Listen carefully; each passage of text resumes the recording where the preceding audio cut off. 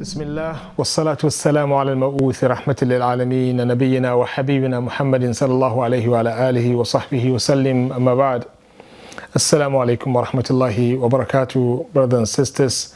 This is uh, session number 10 uh, uh, for this uh, Ramadan reminders. And in this session, bi'idhnillahi ta'ala, I will be uh, discussing an important matter which I think everyone should be waiting for. I am sure 100%, uh, most of us, if not all of us, have been looking for something from uh, the creation of Allah subhanahu wa ta'ala and you have been rejected from time to time. You have been disappointed from time to time, from uh, sometimes from people who you never thought to be disappointed. Uh, so the solution to all of these uh, disappointment that you are receiving from others who happen to be the creation of Allah subhanahu wa ta'ala is to go back to somebody who has. And somebody who is looking for you to ask. Subhanallah. And there is nobody who is like this except Allah.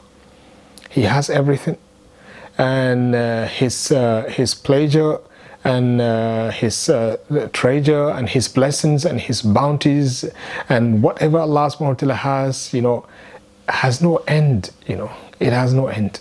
The Prophet sallallahu said, if the first human being and the last human being, and from the first human being until the last human being are going to stay in one place. I can add to this hadith of the Prophet ﷺ, let's say the angels, the first angels created by Allah subhanahu wa ta'ala, and the last angel also created by Allah.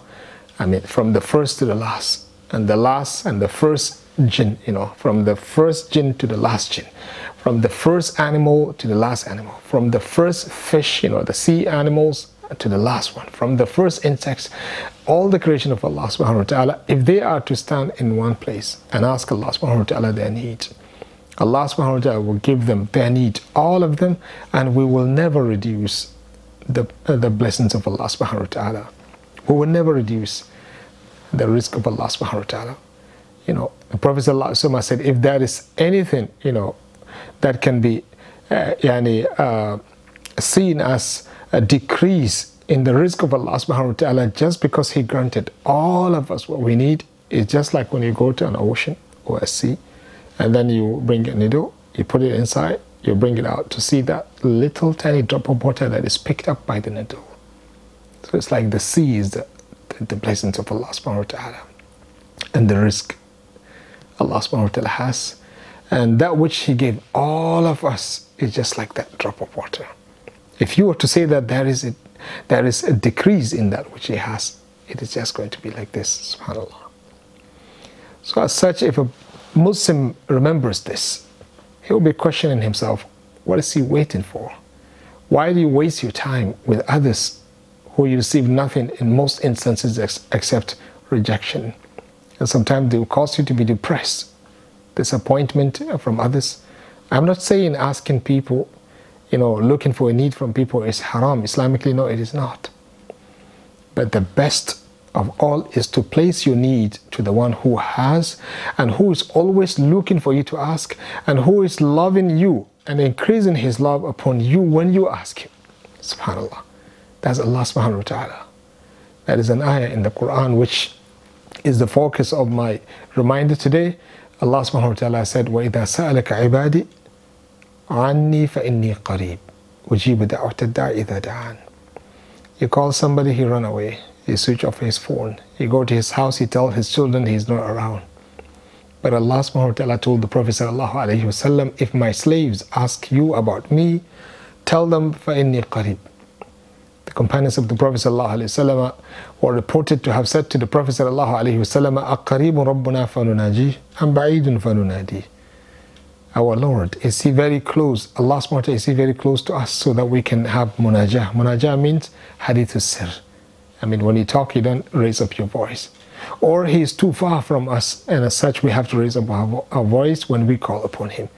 Allah subhanahu wa ta'ala told them, وَإِذَا سَأَلَكَ عِبَادِي عَنِّي فَإِنِّي قَرِيبٌ أُجِيبُ دَعْوَةَ الدَّاعِ إِذَا دَعَانِ فَلْيَسْتَجِيبُوا لِي وَلْيُؤْمِنُوا بِي لَعَلَّهُمْ يَرْشُدُونَ Allah subhanahu wa ta'ala says, whenever somebody asks you about me, tell him I'm very close to them. Subhanallah. Subhanallah. وَقَالَ رَبُّكُمُ ادْعُونِي أَسْتَجِبْ لَكُمْ And he says, tell them to ask me, I will definitely answer their invocation. As long as they are not going beyond limit and they are not doing the wrong thing, the Prophet ﷺ asked them not to do it when they invoke Allah subhanahu wa ta'ala, bi ta'ala they will find Allah subhanahu wa ta'ala responding to their calls. He says, فَإِنِّي قَرِيبٌ أُجِيبُ دَعْوَةَ الدَّاعِ إِذَا دَعَانِ The one who call upon me, I definitely accept and I answer his call. فَلْيَسْتَجِيبُوا لِي وَلْيُؤْمِنُوا بِي لَعَلَّهُمْ يَرْشُدُونَ Allah subhanahu wa ta'ala said, let them look for my acceptance uh, and my reply. You know, Allah subhanahu wa ta'ala said, let them believe in me. You know, while you are making dua, you should have a strong faith and, and iman and yaqeen that bi-idhnillahi ta'ala, your dua will be granted. لَعَلَّهُمْ يَرْشُدُونَ So that they will be guided. So this is an act of worship that Allah subhanahu wa ta'ala loves. And my dear brothers and sisters, as Umar used to say that I don't worry about the acceptance. I worry so much about being granted the tawfiq to ask Allah subhanahu wa ta'ala. So dear brothers and sisters, if Allah subhanahu wa ta'ala grant you the tawfiq to ask Allah subhanahu wa ta'ala, bi-idhnillahi ta'ala, you will be counted as those people who succeed in this life. Allah doesn't disappoint His people. Allah doesn't disappoint His creation. Those people who go back to Him, that is no disappointment. Allah subhanahu wa ta'ala will not embarrass them. The Prophet ﷺ said, Allah feels shy of one of you when he raises up his hand asking Allah subhanahu wa ta'ala for something. Allah will not let you bring your hand down without granting you one of the followings. Either Allah give you a need, or Allah subhanahu wa ta'ala will delay to the better time for you than what you're looking for, or Allah subhanahu wa ta'ala will replace it with forgiveness of your sin, or Allah subhanahu wa ta'ala will replace it with removal of the calamity, you know, from your life, or Allah subhanahu wa ta'ala will replace it with Jannah. There is no failure in the dua when you are making it as long as you do it according to the sunnah of the Prophet So let's uh, participate in this dua. This is the month of the dua. There's an opportunity granted to all of us. Stretch your hand, raise up your hand to Allah subhanahu wa ta'ala at night make sure that you ask Allah subhanahu wa ta'ala all you need. Bi-idhnillahi ta'ala you will be granted your need. Barakallahu feekum. Assalamu alaikum wa rahmatullahi wa barakatuh.